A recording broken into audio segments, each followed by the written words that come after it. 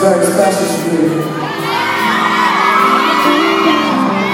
Not only because it's Valentine's Day, but I've been coming to shop for a long time.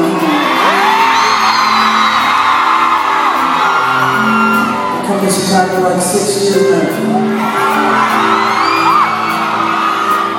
It all started as a dream. It's something very real for me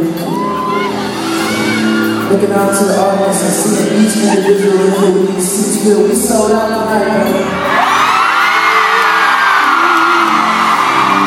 I hope y'all realize that every moment you share with me tonight is not just another show with me, it's something that I'll remember for the rest of my life.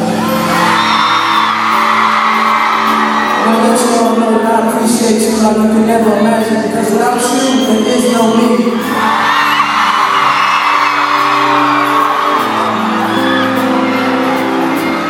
eles decidiam o